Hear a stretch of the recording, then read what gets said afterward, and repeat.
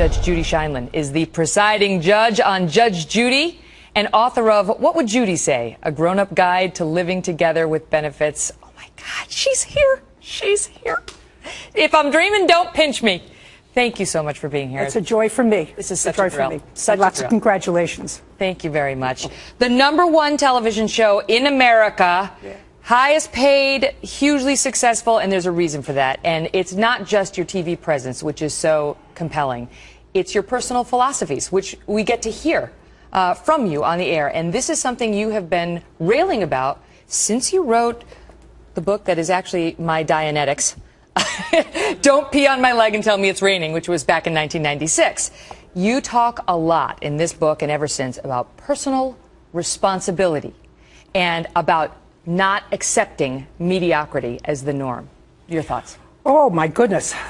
How much time do we have? We have a lot of time. Let's take start. all the time you need. Let's start with uh, the fact that this month, no, November actually, November 19th, is the 150th anniversary of when Lincoln delivered the Gettysburg Address. And, you know, we all learned in school about the Gettysburg Address, what it stood for and, and what it said. And at that point, uh, the president was commemorating a, a cemetery for the fallen Union soldiers at, at Gettysburg. Uh, the last line of it, if I remember it correctly, is that it, uh, if we shouldn't forget that this is a nation of the people, by the people, and for the people. So let's start with that. If it's a government of the people and by the people, we're talking about people who are responsible, have to act responsibly. And we're also talking about the fact that government is there to serve us, not the other way ar- around. I'm going to go back to a story, Megyn. When I was the supervising judge in family court in Manhattan back in the 80s, I had a judge who didn't take the bench on time. I like to get there early. People are waiting. Citizens pay for an expensive court system, just like the public pays for an expensive government. And I felt as if I was a public servant. They paid my salary. They were entitled to a day's work for a day's pay. So court started at 9:15. I was on the bench at 9 o'clock, ready to get going, and everybody else was there waiting for me. Court officers, clerks. This judge had a house in the Hamptons, and he couldn't get to work on time on Monday before 11. And I would say to him, Judge, it's not the right thing. You have people sitting outside. He said, they can't do anything unless I'm here. And I said, but you know, you're a public servant.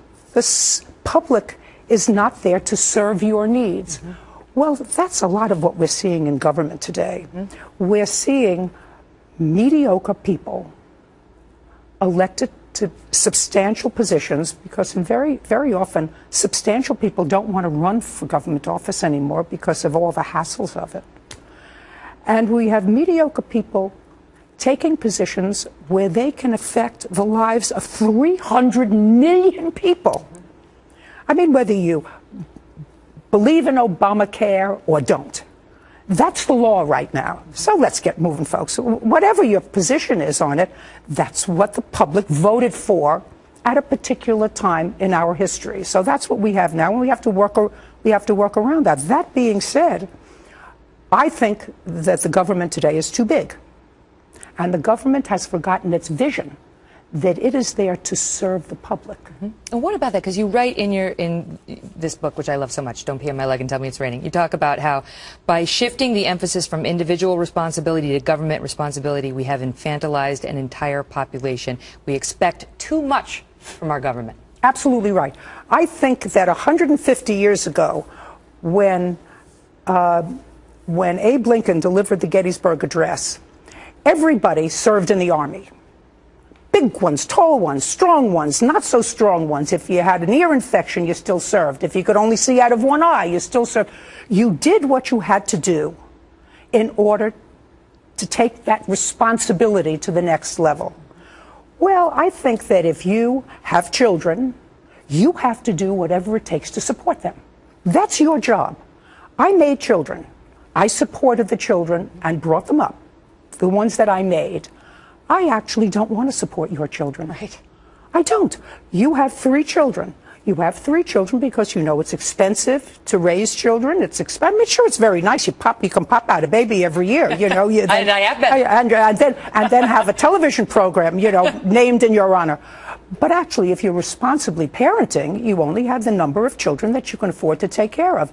And when the government, in effect, says to you, you know what, you have them, we'll take care of them.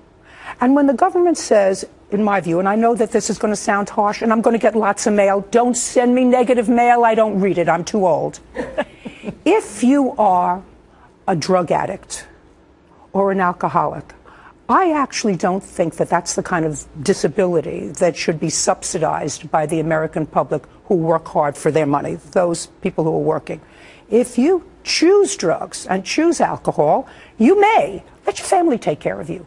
But when I have cases, and I've had them for 30 years, of people who are receiving disability because they are either drug addicts, alcoholics, some have bad backs, some suffer from, you know, I have carpal tunnel in my hand, I have uh, lupus.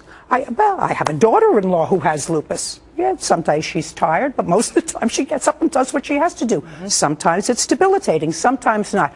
But I think what we've done to a whole group of people is say, not to worry. We'll t- if you can't take care of yourself, we'll take care of you. We'll do it for you.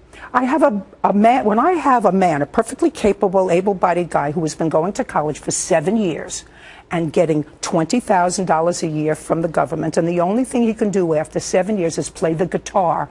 I think somebody's got their hand in my pocket. To steal a line from Tommy Boy, lots of people go to college for seven years. Yeah, they're called doctors. right, good. Right, hold, I like that because I want to talk to you about mediocrity and how you're you're upset about the fact that now everybody's a winner. Everybody's a winner. There's no second place anymore. Everybody gets a blue ribbon. Everybody's a valedictorian, uh, and we're going to pick up with Judge Judy there. And by the way.